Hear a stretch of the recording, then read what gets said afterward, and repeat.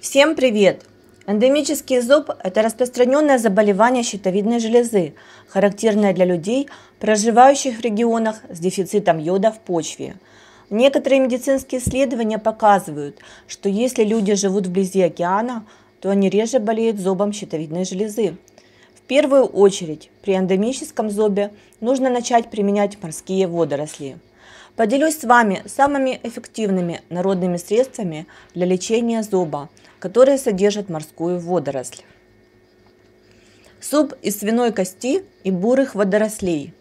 Полкилограмма свиной кости, одна чашка сухих бурых водорослей, промыть и замочить в воде 1 час.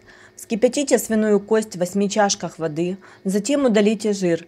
Пусть кипит на слабом огне 1 час. Добавьте водоросль и продолжайте кипятить еще 30 минут.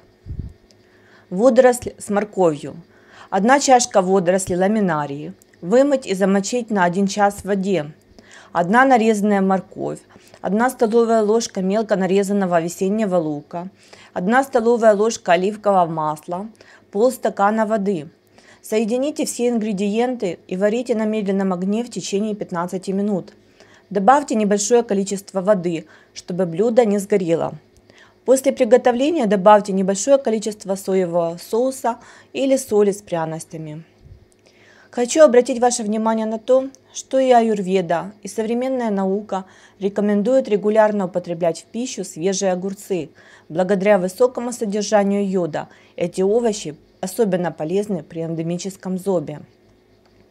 Также полезны следующие ягоды и овощи плоды черноплодной рябины, крыжовника, черники и малины, тыква, баклажаны, лук, чеснок, черная редька, свекла, молодые листья одуванчика и яблоки. Еще поделюсь с вами тремя народными средствами для лечения зуба.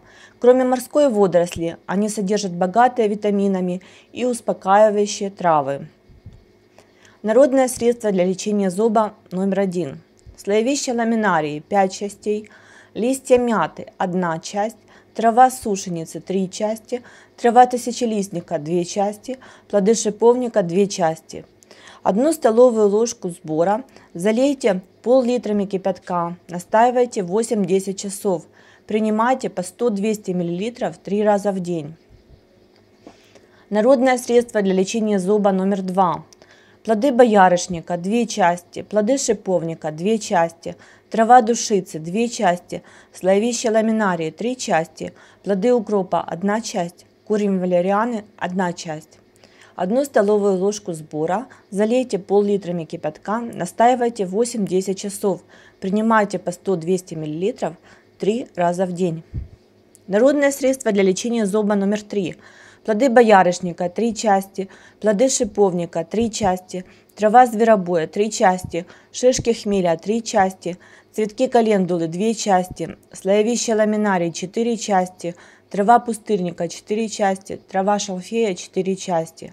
Одну столовую ложку сбора залейте пол-литрами кипятка, настаивайте 8-10 часов.